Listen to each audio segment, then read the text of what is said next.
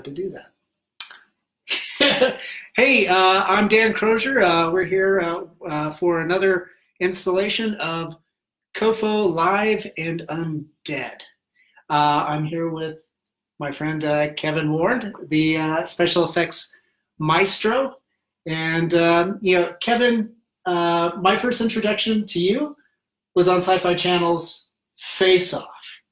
Uh, just watching you going through the, the gauntlet and uh, and rooting for you as you know, kind of the, the Colorado Denver homeboy, you know, the the, the town favorite.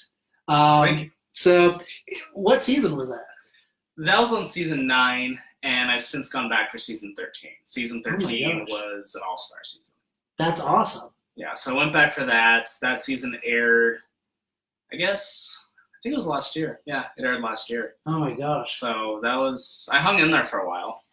It, it was fun. It, it was quite a lot of fun. You know, the frustrating thing is I always I always seem to know more or my skills seem to be more refined when it's too late. I'm like, man, mm-hmm. how come I didn't know some of these things when I was on season nine?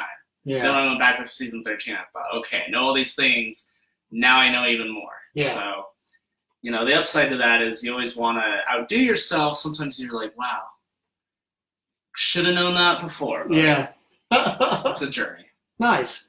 Now, um, yeah, we're here with you because you have created your, your own uh, streaming TV series.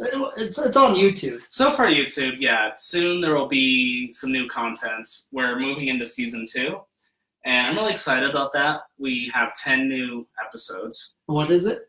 Bored as hell. Bored as Bored, hell. Bored as hell. So essentially Satan has retired from hell. He lives on Earth and he gets himself into funny sitcom like situations. We're going to see some appearances from the Flying Spaghetti Monster. Oh, that's awesome. We're going to meet the Helletubbies and a few other fun demons. There was wasn't there a, a Helletubby in, in like a, a sequence in, in one of the episodes in season one? We didn't see Helletubbies in season one. Really? Okay. I yeah, must I'm have... to think what we saw. We did have a few demons in the first few episodes. Yeah, I remember the spaghetti monster. It looked like something right out of GWAR. Good. Yeah, so that's good. Yeah, the spaghetti. I'm looking forward to the spaghetti monster. Fun fact: he's made out of styrofoam meatballs and awesome. a bunch of rubber bands. So it goes to show you, you don't need the biggest budget in the world. Yeah. Just you know, sometimes cheap materials, love, and initiative. Yeah, uh, yield some good results. Yeah, and, and, with my experience, like limitation does breed uh, innovation. Definitely, and it forces creativity too. Yeah, because sometimes we don't always have the resources we want. Yeah. So you gotta get creative with what you have. You gotta get creative with the space you have. Yeah. Because we made my friend Irene's basement look like an, an actual studio. Because mm-hmm. Satan while on Earth, has landed himself employment with his own call-in access show, mm-hmm. Satan Station, where the only charge is your salvation. Nice. Uh, yeah, but we we turned a basement into a, a studio. We also have employed the use of miniatures a lot. So if you can't make a full-scale fantasy world, you can make a miniature, and that doesn't always have to cost you very much. Yeah. Oh man, it. I find it absolutely fantastic that you're able to do a whole you know series of of episodes like you know a whole season. And there's so much special effects. There's so much stuff you know going into it. But you're also what writing producing acting in it. Uh, you know we, we saw you in uh, well i remember seeing you in the, the first episode as uh, Hans Crippleton, which is an old, uh, you know, character of yours. Old core favorite of yeah. mine. Yeah, Hans began at the haunted house. I worked for the 13th floor oh, for many years, and that was a character I started a long time ago. He's just kind of this funny, deformed hillbilly, uh, and we made a movie just about him and his family for fun, and that was cool because that was sort of the catalyst for these other projects I've done, and, and it helped me get on to Face Off just because I learned a lot of valuable skills working under pressure, meeting deadlines, and also having to improvise a lot because mm-hmm. things will always go wrong. Things go wrong on set a lot, things yeah. go wrong on face off a lot, and you just you, you got to get creative and come up with happy accidents, I guess. Yeah, yeah, um, yeah. Basically, you know, taking those accidents and see how you can work them out or, or incorporate them. Yeah, it's it's happened numerous times. Yeah, yeah, that's cool. Um, can you tell us a little bit about you know your upbringing? You know, are you like a native to, to Colorado and Denver? Did you go to school? No, here? I grew up in Wyoming actually. Oh no, yeah, kidding. Hot Springs, Wyoming. Oh, Yeah, nice. born and raised, and I moved to Denver in 2006 to attend art school, Oh, where'd you go? the Art Institute. Oh, okay, fantastic. Uh, oh, who is? Did you learn under Todd Debreceni? Not there. He Okay. did teach there. I have since worked with him, Oh, nice, and he's showed me. He showed me quite a lot actually. nice. Yeah, he's always been really, really generous with information and tips and all that. So That's cool. yeah, we've. Uh, I met him post AI. Okay. We've worked on some things together. Nice. That's great.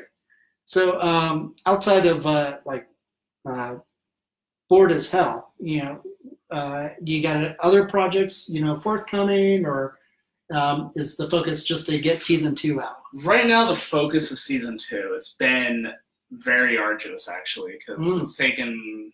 We started season one back in 2015. Okay. Uh, we, we managed to get a few really short episodes out, and then since then, we premiered that October 2000.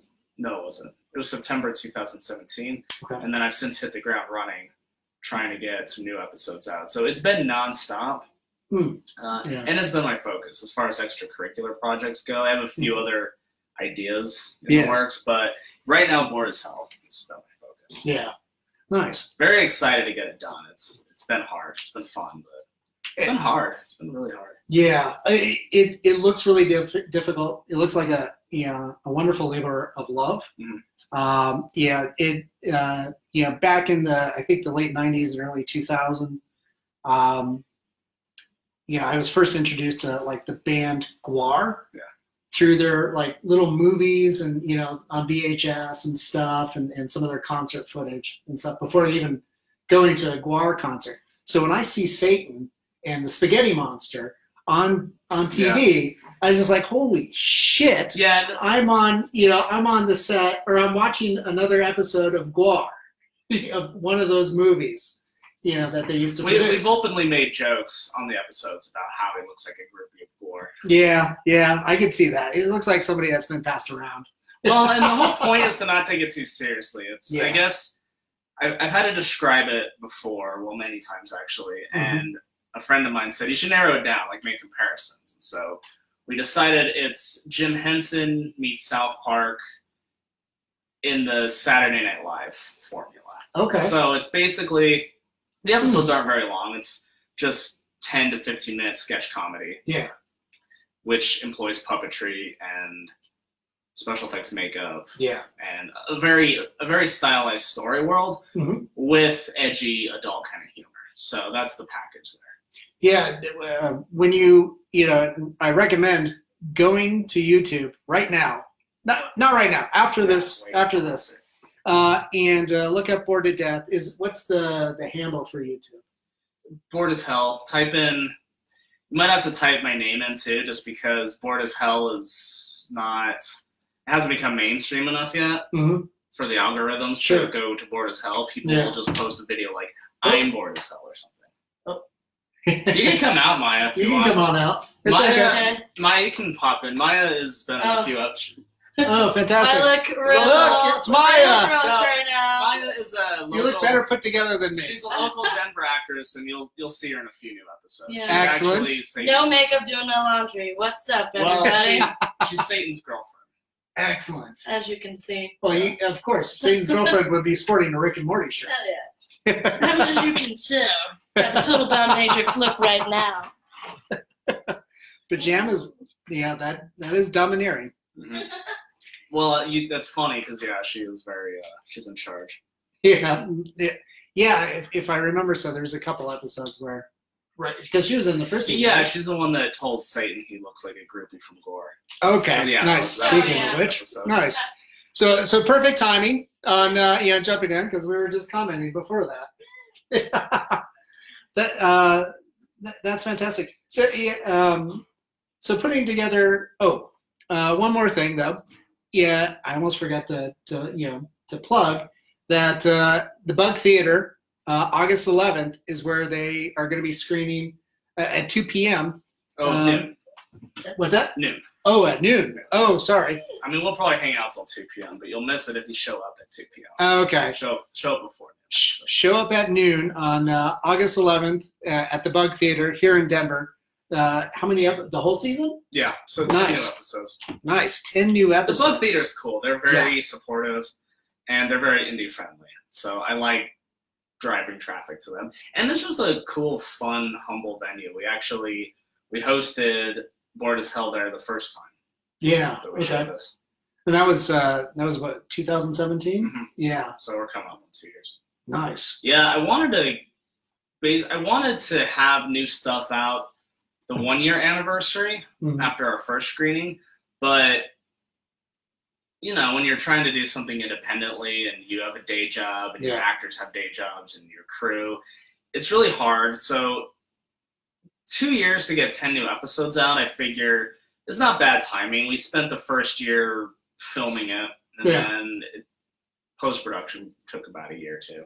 Well, it's it's like the British model. You know, take three years to, to do like three episodes. Sure. Yeah. Yeah. If if anything, your your your turnout is is a lot more efficient. Okay. Yeah, I'll, I'll take it because it wasn't. Yeah, it was difficult because quite a few times our episodes required a specialty set. hmm So once in a while we got off easy. If you just need to shoot a scene in the park, you go to a park film it. But we've had to do. We've had to film at Satan Station before, so that required a lot of work. We've done time period episodes Mm. where we meet the flying spaghetti monster. We go back in time because Satan's preparing the Last Supper. Okay. So it's the era where when Jesus lived, and so we had to create an old kitchen. We used LaFond Effects. That's Yeah. a studio down the street. My good friend and boss works there, and well, he owns the place and hires me for projects, and he's let me use that space a few times. So we built Nice. you know, we, we built an old, old kitchen there. We built a courtroom there once because we have another episode that is about the Salem witch trials. Okay. Satan shows up to a courtroom and kind of is, well, he's offended by the fact that people are accusing these girls of the devil's magic. He's like, Yeah. wait, wait, wait, wait, that is mm-hmm. not the devil's magic. So, Right. anyways, uh, that was hard too because we had, you know, we had to build an entire set for that one. Okay. Oh man. Um, yeah. Uh, yeah. So on these productions too, you're assembling, you know, a team. Like, how many people usually takes, you know, to create an episode? the primary people would be right now it's and it's changed over the years right Mhm. now it's myself as writer producer director the effects artist heath hine very good long-term friend funny Mm-hmm. he's right here actually, Oh, fantastic. say hello heath he plays There's his portrait. Nathaniel Shields, a Colorado Springs talent, is doing all the cinematography. Nice. He does great work, actually. It's very, when you look at his work, it looks very cinematic. Cool. And then I have some rotating people also. A good friend of mine, Dennis Vincent, he's provided help. Oh on- yeah, I know of him. He recently finished Rage of the Mummy.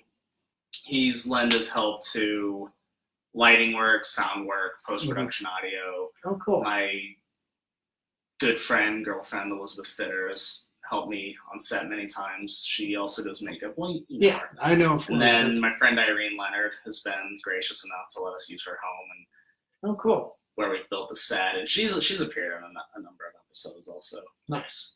Nice. So I don't know how many people did I say. It, it's I guess reoccurring, It takes four or five people, give and take. Okay. A lot of people appear again. It's either they want another cameo or they want Yeah. they want a part. Yeah, that's cool. So you know, when you're sitting down for the like the, the writing process, you know, doing the next season or the next episode, um, you know, do you write for your your actors? You know, people that that Uh, want do I? recurring act, Um, uh, parts, or just whatever you know, fun Gonzo idea I don't comes know to too many times I have writ, written for specific actors. I usually will write something and then find people who are interested in playing the part. Okay. So like for the spaghetti monster, I actually my voice actor Ryan Manley Roar, he also composed the theme song with Brad Wagner, a good friends of mine. He ended up being the flying spaghetti monster, but he was actually the third person because like I kept losing people Okay. through the casting process. But no, I didn't write that for anyone specific. Uh, I don't know if I. I'm trying to think now because people will often say like, "Hey, if you ever create a character that's Yeah. I, I would love to be it." Is, that something that sticks with you, maybe? It is, yeah. I mean, I keep people in mind for certain things. Mhm. Maybe when I start writing, I come up with who will be perfect for it. Yeah. So I don't know if I necessarily answered your question, but maybe what I do find that I do is I already have like a catalog of actors Okay. because I've never held an audition for Bored as Hell actually. Oh, no kidding. No, I mean I I know so many actors here in town Yeah.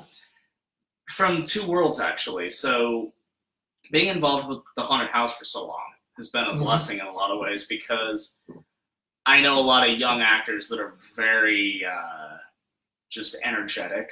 They can Mhm. scream loud. They can wear uncomfortable makeups and Yeah. costumes. So for certain things, I know who to go for. I'll think back to the haunted house, like, oh, they would wear that Yeah. and do a good job. Yeah. People that, that can um, have the, the stamina to put up with a lot of stuff or. Yeah. So there's the haunt world, and then there's the Denver acting world. Mhm. Yeah. there's a good film community here and through other projects i've met so many people already that like i kind of already know like oh, I, Yeah. I, I think i know who i want to use for this Yeah. write it first and then i'll usually find someone and say hey would you be interested in this part Yeah. Um, yeah, with your experience with uh, you know Face Off, you you I've noticed like a, a number of contestants because I, I follow them on Facebook. Have, have gone on to to regular um, gigs, you know, doing TV and film and, and some other you know projects, usually on the West Coast. Mhm. What brought you back to Denver?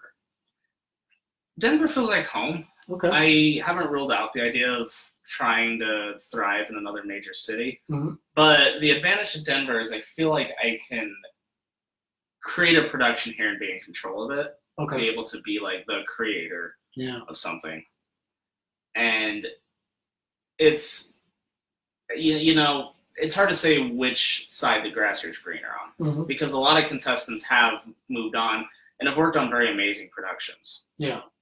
uh, and that's really cool it's great exposure experience it's also uh, economically it's usually really good for you if you can get onto some of these if you get into the union it's even better. You know with projects like what i'm doing the downside is that it is it, it hasn't moved me forward financially. Hmm but what it does is I think the payout is that I feel like it's it's really satisfying to be be like in control of something. Yeah. Be able to say like this is what I made, this is what I want to give to the Yeah. world. You know, I feel like your name is more memorable Mhm. versus like um if you get to work on the Avengers. Yeah. Amazing. Yeah. Your name is gonna be a very small name in a long list Yeah. of credits. Pretty massive list. Yeah. Yeah. Yeah. So so basically, yeah, it's yours. It's your own. Um, I want to see what I can accomplish here first. Yeah. I mean, Trey Parker and Matt Stone, mhm. they came from here too. And, Yeah. You know, they had the same kind of idea. They wanted to create some kind of fun indie thing, and it took off. Some things do, some things don't. You never Mhm. know. But, Yeah. You know, you got to try to find out. I yeah, I find that pretty admirable. Uh, yeah, me as a creative too. Um, uh, I mentioned earlier uh, OFM where we got dressed up in big latex monster outfits and had choreographed sword fights, and we would have aerialists drop out of the sky. That um, did that for eight years. Uh, that's how I met Elizabeth, and uh, you know she she helped out uh, with you know makeup and mold making. Uh, probably doing a lot of the same things that, that you guys are doing on on uh, board as hell. Um, only I think you guys do it way better. but uh, yeah, but um, you know, yeah, I think there's there's that sense of accomplishment when you know it's it's your project and you're spearheading it, and you also um, you know, for me, you know, make it a collaborative piece where people can come in and give suggestions and inform things. I think the gratification is that as an artist, you feel like you're leaving your footprint. Yeah, because I've also I've, I've got to work on some very cool projects, but the the recognition's not the same. Sure. So you know which which one's more important to you, and that's a Yeah. personal decision to. You Yeah. know, some people just want to be on the set of Walking Dead and get to work on cool zombies Yeah. or Stranger Things, and um, I I would love to do that. Yeah, sounds awesome. yeah. It's just you know which path do you want to chase? Because it's Sure. I don't know. Yeah. I mean, I, I don't I don't know the answer. It's because you know success looks different to everyone, and it's a different journey to everyone too.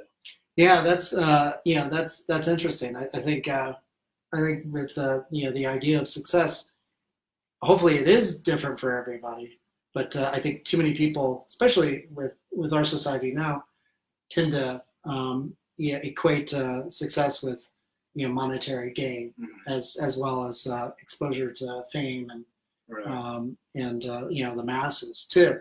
Um, but uh, but yeah, I yeah I tend to, to find uh, success you know measured as well. I finished this thing. What's next? completion is a huge part of success because Yeah. completion is very difficult actually. Yeah, And people struggle with completion, and I feel like we've probably missed out on some of the best stories and creations that may have ever been, but Mhm. they just weren't completed. yeah, um, yeah. A good example that that comes to mind. Um, you know, there, there's that uh, documentary of uh, Jodorowsky's Dune. Uh, I don't know if you've ever you know seen that or heard of that. Heard of it, but not very familiar. Okay, so you know, back in the the seventies, he came off of uh, directing uh, Holy Mountain, which was his, for him it was a large budget, you know, art film, and it was uh, you know really well received, you know, in the uh, the midnight uh, you know screenings around the world and um, um, you know the art house theaters at the time, and uh, he was he was given the option of uh, you know, well, he was asked, what do you want to do next, and somebody put in his ear, you know, you should do Dune. He had no idea what it was at the time. He just like, yeah, I'm doing Dune. So he read it, and he digested it, and uh, created this massive production Bible. Assembled a huge team, and uh, the talent that he pulled together ended up informing uh, Alien, Blade Runner, um, Star Wars, you name it. Any sci-fi film for the next 15 years was pretty much informed, you know, big budget sci-fi Yeah. film was pretty much informed by the talent that he assembled for Dune. So like uh, Dan O'Bannon was going to be, uh, you know, one of the production designers. He had Moebius doing all the storyboards. And that's how Jodorowsky and, and Moebius started doing uh, graphic novels together in France. Well, that's inspiring because you don't, you, you never know how things are going to pay off, Yeah, and you don't know what the ripples are going to be either. yeah, and how they're going to create. You don't know necessarily the cause and effect to what you Mhm. started, yeah, but you got to start and you got to be persistent too. What, um, how do you find, you know, motiv- self uh, self motivating yourself? Well, that's redundant. Self motivation. yeah. Is that a Um, lot of coffee? Oh yeah, that uh, yes. The answer is coffee. I guess when it comes to motivation, Mhm. I don't know if I have a choice. Okay. I don't know if Hmm. Yeah. certain artists always do have a choice because when I'm done with something, I feel a bit of restlessness and I have to start working on something else. Yeah. I feel like my I feel like projects kind of are my life. And I can't recall a time when I was never working on something. Yeah. I think before I was like potty trained, I was coloring. I was actually. I was like coloring on walls and furniture and stuff. So that's always been my thing. I guess Is it kind of a restlessness? it is, but it's also there's a rush too from Okay. challenging Yeah. yourself because bored as hell has pushed my skills in a lot of ways. hmm I've learned quite a bit about post production and doing visual effects, something I had never done before. And through other people I've met and worked Mhm. with, I feel like I've learned even more. Okay. Sometimes someone will just recommend a book and I'll read it. And I Nice. feel like I've kind of I've been given the tools to push myself even harder. Mhm. So I guess I just find I guess what motivates me is just trying to outdo myself. Nice. because I like I like accomplishments and I like recognition from accomplishments. But what it does for me is it makes me want to like raise the bar again. Yeah. Like, okay, if I can do that, Yeah. why can't I try something a little harder this next time? Nice. And completion drives me a lot Yeah. because I don't think I'm patient, Yeah. but I do think I'm persistent. Okay. So that's what drives me to finish. Yeah. This project, it's been fun. Hmm It's mostly fun when we're filming Yeah. because you got a lot of like happy synergy and the silliness and funny banter with the actors. The post production's not really the same. You're it's it's a very isolated place and you know you're just sitting in front of a computer like clicking, looking at all these tiny little buttons and hours go by and there have been a few times where I think, why am I still doing this? Sure. This is really tedious Yeah. But facing or even like entertaining the idea of like well what's the alternative to Mhm. not doing it like that's something that's hard to live with i couldn't ever just stop the project and Yeah. then tell everyone like hey guys you know thanks for sticking with me for years um yeah i don't think it's gonna i don't think it's gonna work out Yeah. and here's my excuse or excuses like i don't think any of it's good enough i mean Yeah. push through and Get it done. get it done yes Yeah. at least get it done Yeah, uh, when, when I work on a group project, uh, you know, especially if it's my own, I'm leading the way and everybody else is jumping in on board. Uh, I do feel the need to, to also, you know, see it through uh, because I owe it to them.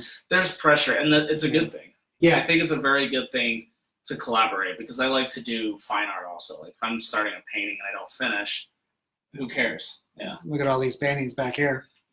um, unless somebody unless i'm doing it as a gift or a commission Mhm. i'm not letting someone down if i start a personal project and don't finish. Yeah, film is nothing like that. It's very collaborative. You don't typically see a film where the credits roll and it's one person. Yeah, You work with a lot of people, and it is a tremendous letdown if you don't finish. I mean, I've I've worked on multiple projects for other directors, producers that were never done, yeah, and I think we all have, and it's always disappointing because you want to see the fruit of your labor. Mhm. yeah. Y- yeah. You know, the fruit of your labor, and also if it's somebody else's project, you know, that recognition that they Mhm. appreciate. Yeah, Yeah, yeah, I think that's that's definitely important. Uh, it looks like uh, Bonnie. Uh, it looks like it's a statement. Creativity is everything, especially when you're starting out. Um, but uh, speaking of starting out, so with art school, um, you know, was it uh, you know makeup effects that uh, that you started out with, or sculpting, or what was uh, the, the focus of the, the curriculum?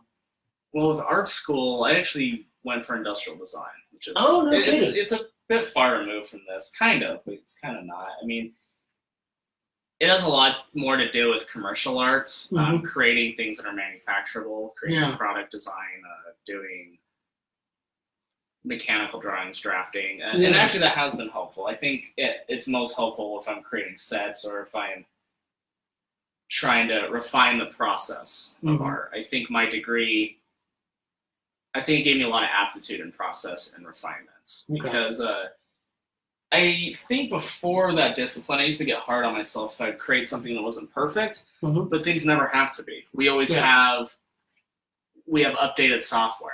We have new additions to textbooks. We have new makes and models of everything. Yep. Um, nothing ever does. I, we don't need remakes of every great movie. Yeah. But what I'm saying is like things are always being refined. Yeah. Because the first time we did Satan, it was for a, a short contest film, and it was actually very rough. Yeah. The first inception of Satan, that had this prosthetic here, but Ooh, it's nice and soft. it wasn't. I wouldn't call it a good makeup, to be honest. Mhm. It You wouldn't, or you and I would? would not. It was it was very rushed and it was very pale and I mean we were trying to glue the horns in place the day of and Heath had to endure like ten hours worth of us second guessing ourselves. And this is a foam latex. This is foam latex, Oh, yeah. so nice and light and soft. But what really beget the whole idea is that when Heath was dressed up as this guy, he was just being funny. yeah. He was dancing around and singing as this funny Satan. It got all our wheels turning. Said, like, what if we just did a show about Satan? And give us that funny voice, Mhm. please. It was it was always you know that actor that would Yeah, so if it weren't for Heath, there would not be Bored as Hell because it was specifically written for him. nice. And maybe that kind of takes us back to one of our points earlier in the Mhm. conversation where you asked if anything was ever written for anyone. Yeah. And I said it wasn't. I I guess that was a Satan. lie. I guess the whole Satan the whole actually thing was there. the whole thing was written for this one actor yeah. because we never had the idea Okay. until he, you know, just gave us a kind of funny impromptu performance. Nice. Where where did that something like that take place? Just you know at the house or Yeah. in the studio? Mhm, at the Nice. house. Okay. Nice. Yeah, it's just such a it was, it was a very trial kind of makeup. But Yeah. he gave us such a funny performance. He's actually dancing to. There's a song about Buffalo Bill. It's like a parody song about putting the lotion on the skin. And, uh, Yeah. Okay. He started. he kind of just came up with this very sort of. Uh, I don't know. This very just animated, flamboyant kind of Satan. Nice. Yeah. Yeah, well, uh, you know, on on uh, you know, season one, yeah, he, he does come off flamboyant, kind of effeminate. It's, He does. He just he just comes off very fancy, very Yeah. self-important, Yeah. very. Uh, I don't know. He, he's wriggled so many times, but what's funny about Satan is that I feel like it's it's a creation. It's like Heath and I had a baby almost because uh, Okay. There there is a script with some exceptions. Like Mhm. you might have seen some Q and A's we do with Satan. That's all Heath. Okay. People will write in with a funny question to Satan, and he'll just like on the spot answer it. Nice. If you go to the Bored as Hell page on Facebook, you'll see some Is that Q and A's. is that something that you guys do regularly? We do. Like Okay. usually, what'll happen is if we're filming an episode and we have Mhm. access to the set, we'll be like, all right, let's take a few questions from our Nice. fans, and I'll just go on Facebook like, all right, who asked this question? Then That's up great. with a funny answer. So, what what's great is that I feel like it allows the actor to act because the actor behind the makeup really does matter. I mean, actors matter anyways Mm-hmm. Yes. because they have to look and be a certain way. Yeah. So you look for actors that fit the bill. But even when you transform them, the actor underneath still matters. I couldn't have another actor. So it has to be Heath because he brings a certain Heath-ism to it. Yeah. And so when we're filming an episode, in that case, it is scripted. Mhm. And so that's where my voice comes out, is in Okay. the writing. Yeah.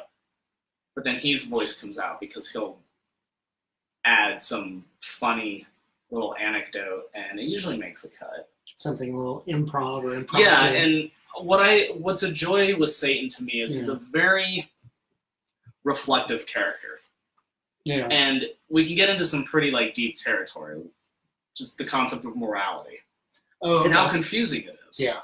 you know, because if Satan's been around forever, morality's been a shifting landscape for centuries, Yeah. and things, you know, things are perfectly fine today. They used to be immoral. Some things are uh, inappropriate now. They used to fly, and Satan's Yeah. just so confused. And his uh, his commentary on it can be very satirical, hmm which is what I really like to write. Okay. And he can go from being very eloquent to all of a sudden being very either vulgar or uh, very modern too. I love Nice. it when he goes from these soliloquies where he's using all these big words to just dropping some kind of slang phrase that Yeah. all the time. Ah. Nice. And uh, and and Heath is very very biblical actually. He he likes Hmm. Uh, he is. He Okay. he really loves Jesus. Um, so he knows the scriptures very well Oh, interesting. which is very helpful because he can add a lot of humor that might be Yeah. esoteric to some people, but to people that are more familiar with, yeah. you know, the Bible or religion, like they they they, they see some of the the inside jokes. Nice. Uh, you know, getting back to the questions, uh, if you guys have uh, a question for uh, you know Kevon, Yeah, I see- I either now- yeah, lotion by Elizabeth, the Greenskeepers. yeah, Oh, that was it. Yeah, yeah. I didn't remember. Oh, okay. I didn't remember the name. I remember the. Well, leave it to Elizabeth. Thanks, Elizabeth, for for pointing that out. but uh, yeah, if you guys have questions, post them here. Post them to our Facebook page. We'll, we'll forward them on to Kevon. Maybe we'll uh, we'll see if uh, if Satan will answer them. Yeah, yeah, we can have segments. Yeah, that'll be fun. No holds bar though. I I Yeah. have no idea what he's going to say. So Oh yeah. ask at your own risk. Oh, excellent. That's that's good. Well, if if he knows uh, the scripture, maybe he'll he'll uh, respond in something biblical. You know, Yeah. like, like a plague or something. Yeah, that, that'll happen too. Oh, fantastic! That's that that brings so many people together. Yeah. that stuff's Well, pretty endearing. And I guess kind of carrying off of that, what's fun Mm-hmm. about Bored as Hell is like I don't think we have any kind of mission statement with it. Yeah. Like there's no like agenda or any kind of like point we're trying to push. We're just it's just fun. yeah. It's fun to just make jokes. Well, earlier you said it was like very SNL in in that you know, and, and when you watch it too, it's there's common threads through each Mhm. episode and stuff, but it feels like little vignettes. You know, like their their own. They all I think they all stand alone. I mean there's Yeah. like some soft continuity from episode to episode. yeah, We have characters that reoccur.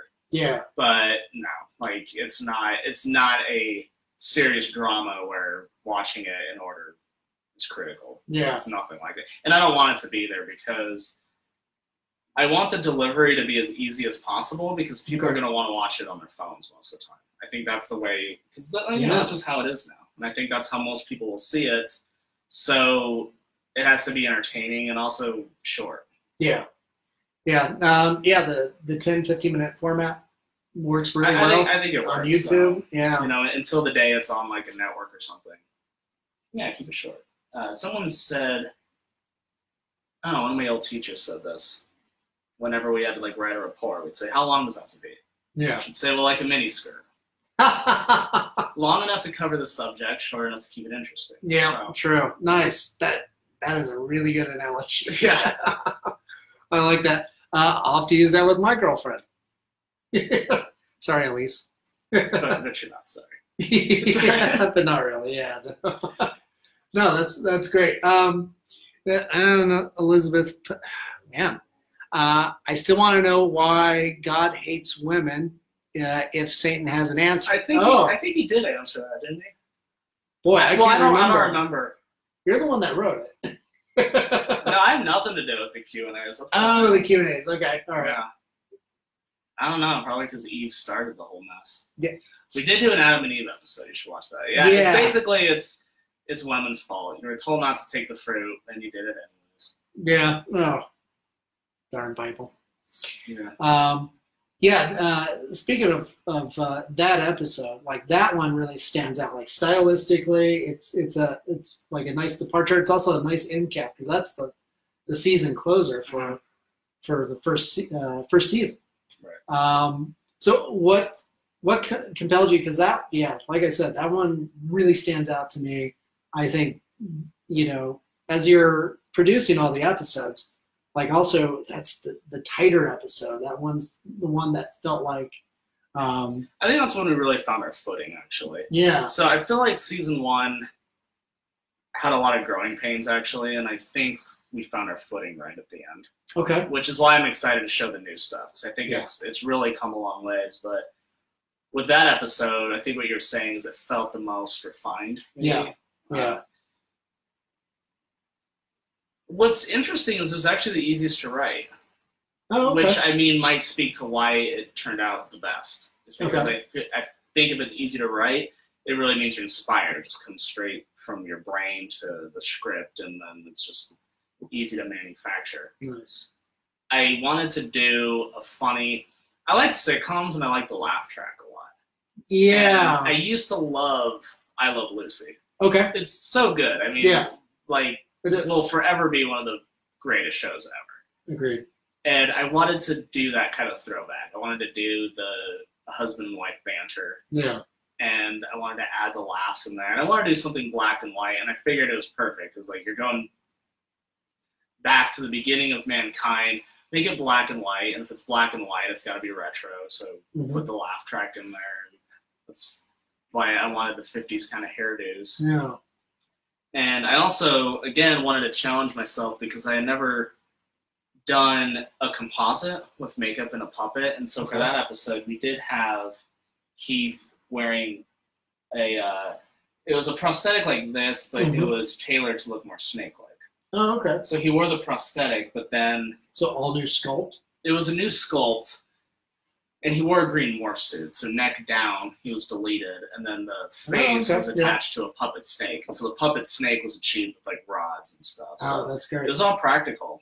Yeah. Um, and it worked well. It took a long time to kind of, for me, to learn how to do that well. Okay. And since then, I've done it several more times. And so you'll see a few characters in the next season Not Nice. achieve the same way.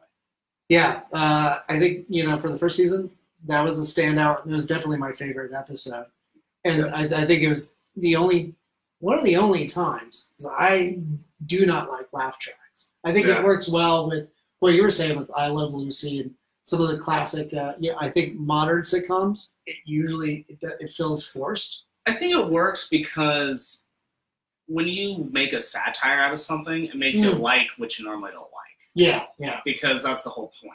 Pointing out something that you normally think, oh, this sucks. hmm But this time I like it because you're making fun of it. It's like Yeah. sometimes I like Weird Al's version of the song better than I like the original I version of the song. yeah I, I could say that with yeah. Quite a Um, few of his hits actually. yeah, for me, it's the it's all it's almost all of his Michael Jackson uh, songs, and then the the Coolio song too. Oh yeah, Yeah, Gangsta's Paradise. That Gangsta's Paradise. that, uh, I think that Amish Paradise is Amish better. I think, Paradise. Yeah, I think Fat is Yeah. bad.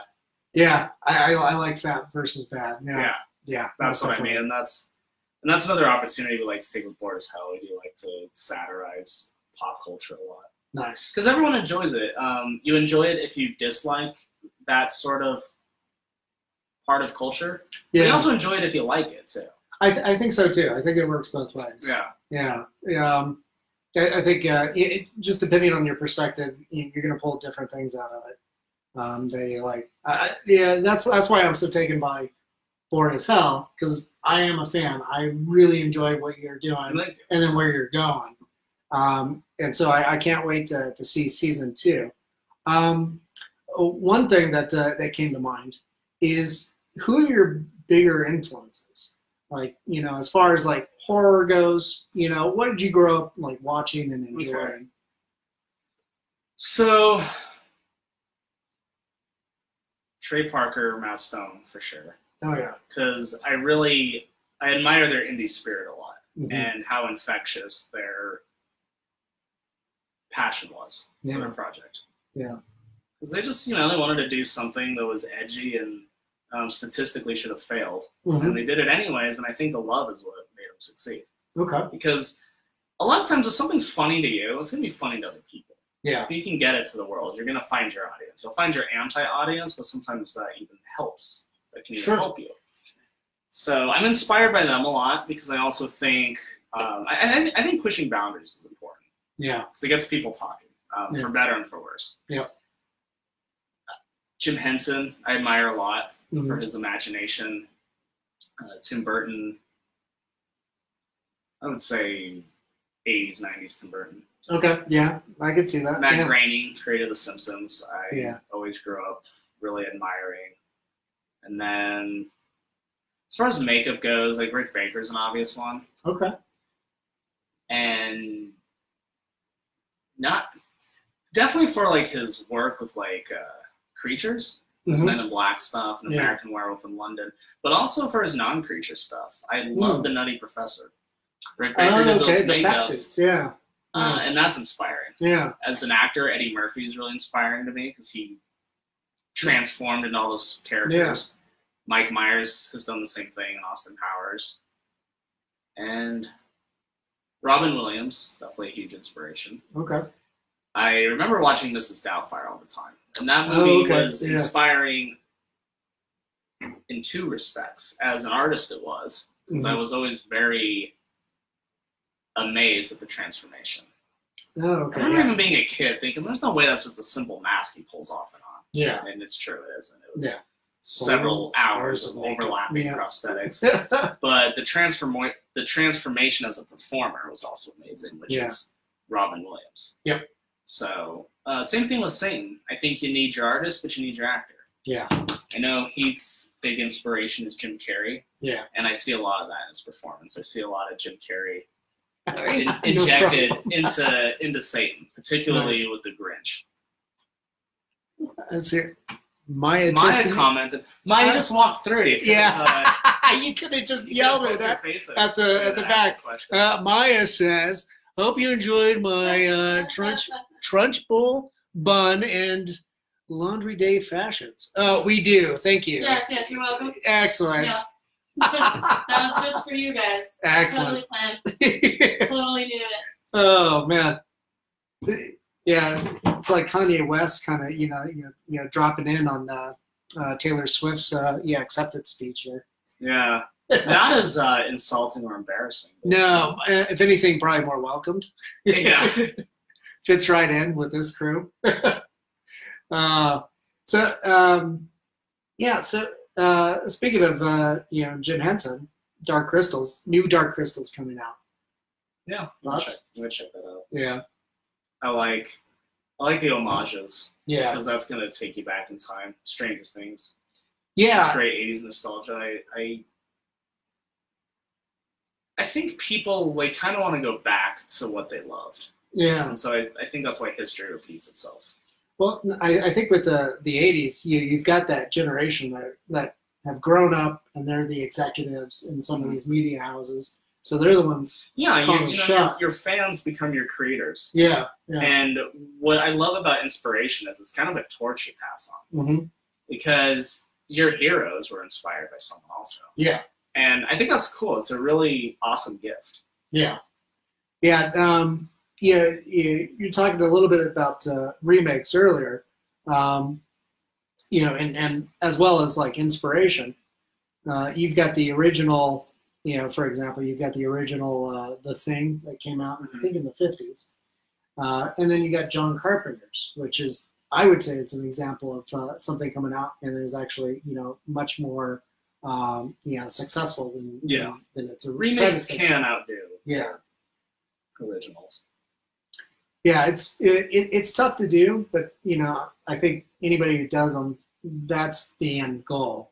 Um, other than on the marketing side, the money aspect. Yeah, I was gonna say that would be the end goal if it wasn't a business. Yeah, yeah, yeah, true. Um, but you know, the way I look at it is essentially it's just like okay, you know, yeah, every generation you're probably gonna have uh, a retelling of something. You know, how yes, many? I don't know where I stand on that because on one hand, like the elitist in me kind of is over all the remakes because I think Sure. you need to let generations like have their thing. Yeah. But then on another hand, I don't know. Is it okay to like bring a story back so like another generation can appreciate it? Yeah. It, it depends. Some remakes are good, or some aren't. Like, uh, I think some of Disney's remakes have been good. Some haven't. Yeah, yeah, and the way I see it is uh, essentially it's like you're how many times has any of Shakespeare's tor- uh, stories been reinterpreted, Right. retold, performed, and made into films? Well, um, there, is a saying that there are no original ideas, and in some ways Sure. that's true. yeah, Because if you take a lot of stories, it's got the same tropes as something that's very familiar. and back to Shakespeare, a lot of his influences were you know classic Greek tragedies. Yeah. Yeah.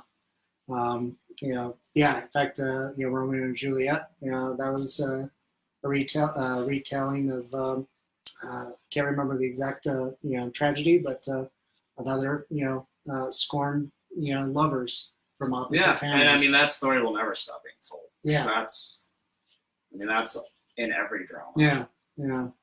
Um, yeah. Uh, so moving forward, how many uh, more seasons of? Well, I don't know, as hell. 'cause I need a break from this. Yeah.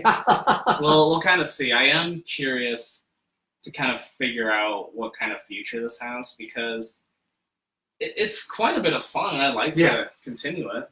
There's other ideas I have for the continuation of Satan and some of these other characters, but I want to figure out like what's what the end game is here. okay. Because right now I'm not sure. I kind of want to measure how successful it is and kind of gauge the reception. See if you can find. Uh, Yeah, I mean, I think if we find an audience, I think if people like it, I Mhm. might want to continue it. We might just go on a hiatus for a while, pick it up again later. I don't know. It's it's gonna be nice to just let it simmer because it's been nonstop work for quite a few years now, Yeah. and I think we're about to see the best of it. And I'm anxious to see what what comes after that because I don't know. Yeah. You know, you you never know when you create something you don't know how people are going to take it, Yeah. and that's it's it's, it's a fun part actually. Yeah. Um, with uh, you know, people, yeah, young people. Um, and granted, you're. I think you're much younger than I am. Uh, probably like almost ten years. You're in your thirties, right? Yeah. Yeah. Uh, yeah, you are. um, with younger people, you know, getting into this, into filmmaking, storytelling, you know, makeup, special effects. You know, what, what kind of um, uh, suggestions would you recommend? Uh, just do it. Uh, get off your ass. That's actually the hardest part, but it's the first step to anything. Yeah. And plan on failing a lot. Mm, Plan on getting frustrated, yeah. and expect it to be really hard. Yeah. But just do it anyways. The completion matters a lot. If you look at the early work of anybody, it's not going to be their best. But I mean, push to finish it because you, you learn something every time you finish something. Even if in your mind it was a failure, you can at least find a few gems in a failure. hmm You know, I I think it's okay that like we create things that we sometimes don't always like, but your your successes are measured by how many times you did fail at something. Yeah. And I think trying to check yourself and trying to curtail your discouragement is Mhm. really important Yeah. because where is it written that you have to be great at something to get started? Right. Yeah. Uh, you- yeah. Not you're not necessarily going to be you know take to it like a you know like a fish in water. No, and you don't have to, but also learning how to do something is so easy now. hmm Yeah. I mean, you can go online on and watch. I, I, I do it all the time. It doesn't Yeah. matter what you want to learn. I mean, you can find information immediately, hmm Yeah. and you can also you can get feedback immediately because social media has such a reach. Yeah. And if you want, if you want people to see what you do, you can. It depends on who you seek. I mean, sometimes we do need validation. We need to feel good about what we're doing. Sure. You know, once in a while, like get advice from someone that's gonna be tougher on you. Yeah. tell you what you know is going to actually help move you along. And I think what's helped me is I've I've definitely been mentored by difficult people.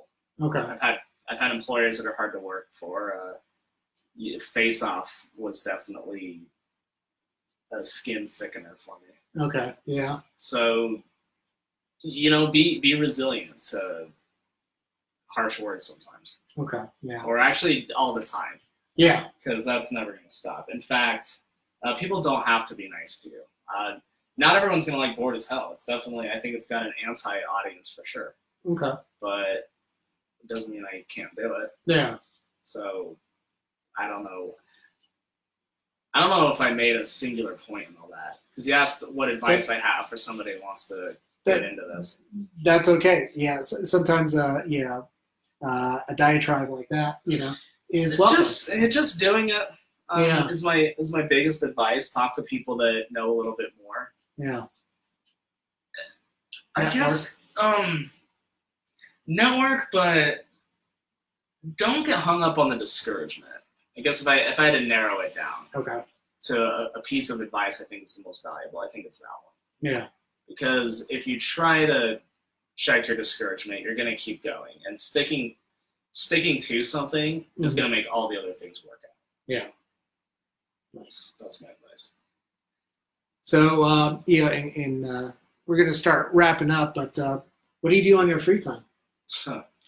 Uh, None. I, yeah, I mean my, my free time is Is this? is full of projects. Yeah, Yeah. I mean, people have accused me of being a workaholic, but you know, people have people like to do different things Mhm. in Yeah. pastime, and so I mean, this is work, but it's it's pleasure too. I like it most of the time, so that's mostly what I do. But nice. you know, we do cosplay a lot. There are a few. That's true. I ran into you guys at uh, Denver Pop Culture Con or whatever yeah, it's called so now. we do. I, I guess art kind of defines my life when it comes to work and play. yeah. Because when we when we do fun stuff, a lot of times it is some kind of way to show off. We Yeah. like to go to the when the clubs do like some kind of a theme. We like to Oh, dress up okay. as characters. We like doing the conventions. Yeah, because at uh, Denver Pop Culture Con, you you went as the entire Addams family. Nice. Yeah. Oh, there you go. I heard a woohoo from that the shower. yeah, Maya's in the shower right now, but she's listening. Uh, That's our that's our crowd, uh, you know, audience response. we were uh, we all did Zombies in Wonderland too last year. nice. Oh, cool.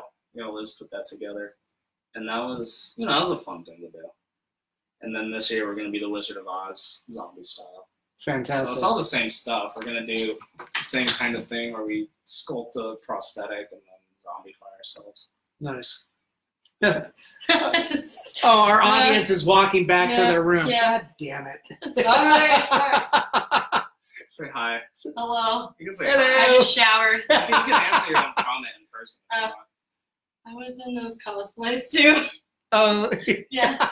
yeah, we have we have, Maya, we have Maya's face here somewhere. Oh yeah, I can see my cool, dead-looking face. no, it's not the Trump, so that's good. Yeah, I do have a Donald Trump prosthetic. This is silicone. Oh, okay. I'm hiding in the cave now. Nice. Yeah, that feels. It's a little bit. heavier. Silicone. Yeah, if anyone's interested in effects, uh, It's a little bit more durable. right? silicone's more lifelike and more Yeah. translucent. Foam latex is uh, it's lightweight. It's easier to paint too.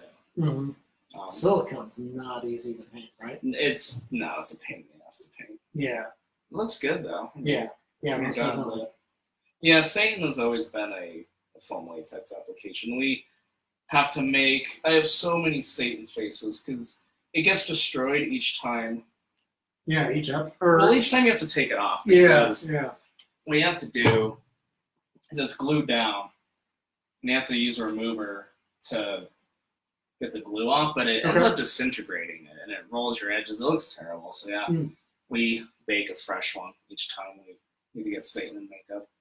That, this stuff is not cheap. Neither is this. No, I mean nothing's cheap. That's why you know people got to pay their artists because you know we have a hot, we have an expensive lifestyle. Yeah, yeah, that's that that's true. You you know, when you run into that in the real world, uh, you know, people are like, "Well, why do I have to pay you? This is this is fun for you." It's But like, you no, like doing this. But exactly. you love doing it. So we're doing It's you a fucking work. If anything, I'm, I'm working twice as much as as uh, you know your, No, your I, I plumber. find it very patronizing. I mean, Yeah. when I was a kid and someone wanted me to like draw them a picture with like crowns and construction paper, it was a compliment. But uh, yeah, no, when, when you're an adult, it's yeah, it's our it's work. Yeah. Yeah, it's like I'm doing this for you. You're you're paying me. Right. This is my hourly rate. Yeah, yeah, that can that can be uh, pretty uh, infuriating. Most definitely. Oh well. Well, So- that's why it's that's why I like kind of working on my own projects Yeah. because you know client clients can be very difficult and frustrating, and mm-hmm. employers can be too. So I, I think it's important for people to find what they like doing, you know, Yeah. outside of their job. Yeah. Because we don't all get our dream jobs. Even if we get a job we like, we should find something that we like doing outside of that. Yeah. You know, for me, it's this. I've always, like growing up, I remember watching SNL thinking, I want to do that someday. Yeah, yeah, yeah. Doing skits and Yeah. everything. Um, yeah, that's pretty fun.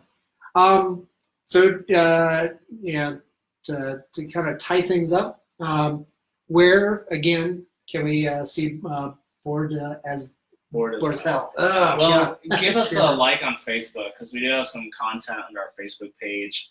We have a few episodes up on YouTube right now, and we'll have more soon.